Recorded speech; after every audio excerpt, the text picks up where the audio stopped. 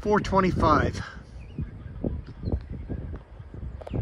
May 9, 2024. The train everyone's waiting for. B119. 16,000 tons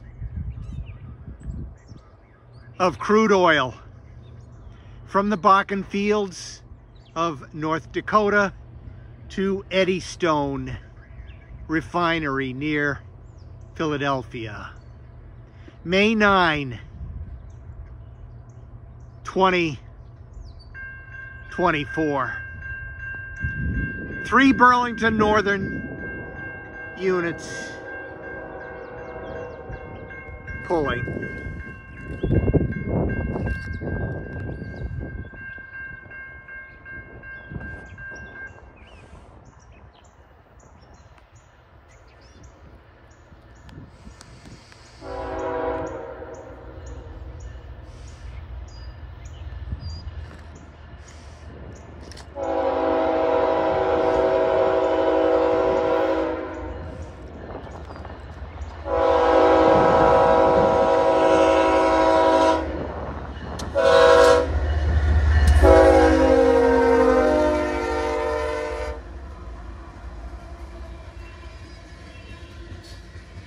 And the idler.